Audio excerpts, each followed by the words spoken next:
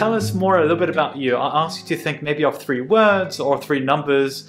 What would be a brief introduction of yourself? GD in Angular and Web Technologies. I am from Colombia. I can self-describe myself as a curious and passionate person that loves the community. I know that I love yellow and I put yellow in everything. I have yellow socks, yellow Firebase socks today. One thing that defines me is uh, Kotlin. Uh, curious, because this is what uh, it started me with um, computers and you know the whole uh, geeking and nerding, uh, nerding stuff and hacking stuff.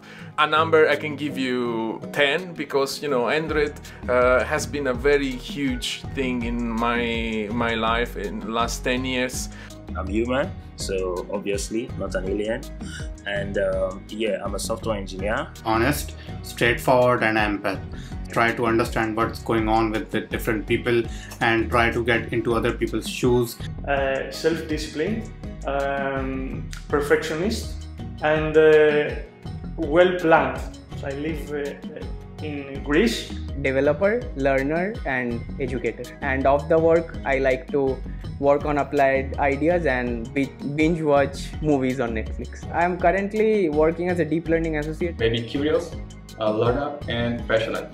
Once you realize that you are probably going to study for the rest of your life, so you need to be a learner and be very passionate about what you do. I would say 0, 1 because I like binary and 8 because rotated 8 is infinity, just for no particular reason.